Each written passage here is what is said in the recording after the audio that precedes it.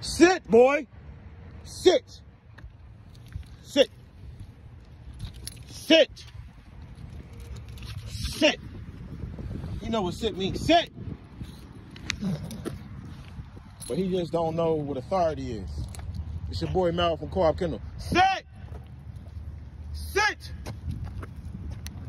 Hey. See, this is what happens when you have a dog. Come here. Hey. See how he's listening? Sit. And he think he could just do whatever he wants. Hey. Bishop, sit. Sit. Sit. Sit. Sit, boy. My phone out my hand. That's how fucking stubborn this guy is. Hey! Sit!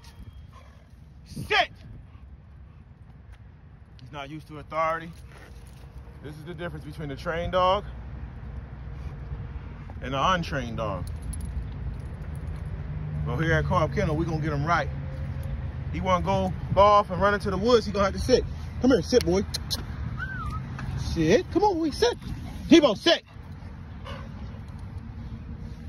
Debo, sit. See, he knew he had to sit. Sit! He, he, he just, it's just like, man, this is what happens when you get a dog from an owner. Sit! And they ain't been training their dog. This is a Camelot dog. The dog, obviously, with way more drive than this. As you can see, this is what we're working with at one week.